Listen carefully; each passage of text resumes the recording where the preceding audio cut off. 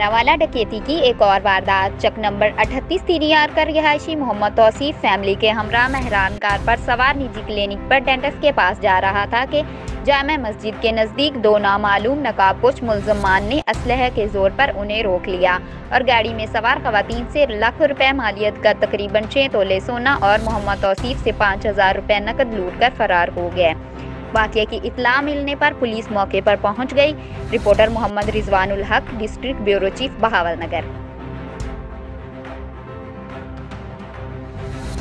हमारे channel 202 news HD को subscribe करें वॉच करें और बेल के बटन पर क्लिक करें ताकि हर खबर आपको लम्हा ब लम्हा मिलती रहे।